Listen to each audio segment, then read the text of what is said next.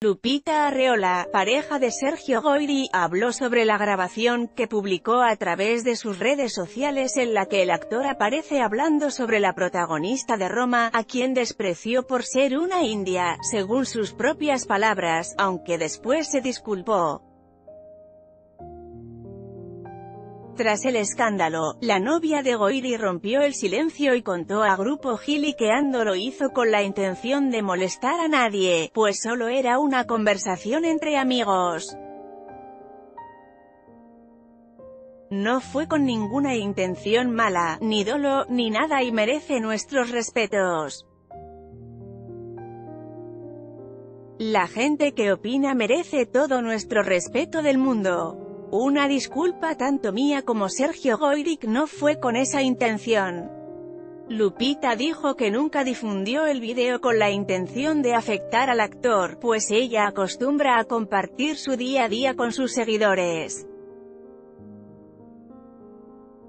Fue lo que pasó en ese momento Sergio Goyri estaba opinando, hablando no nada más de la película esa sino de televisión, de cine y pues bueno era un punto de vista de él.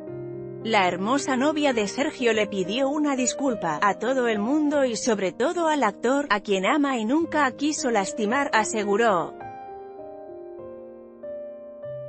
Aunque muchos cuestionaron la relación entre ambos después de aquel fatídico video, ella asegura que la relación con Goyri sigue viento en popa y aún tienen planes de casarse. Se me hace mala onda a la gente que tomó el vídeo y la forma en que lo están tornando, porque no es así, no afecta para nada mi relación con Sergio. Nosotros nos amamos, seguimos con nuestros planes de boda, muy felices y eso sí muy apenados porque debieron estar ahí para ver el inicio de la temática y de la plática. Yalicha Aparicio ya se pronunció al respecto y asegura que ese tipo de comentarios no los toma en cuenta, pues ella está muy orgullosa de sus raíces oaxaqueñas.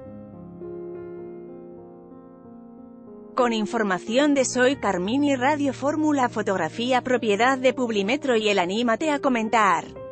Queremos saber tu opinión. Comentarios Powered by Facebook Comments.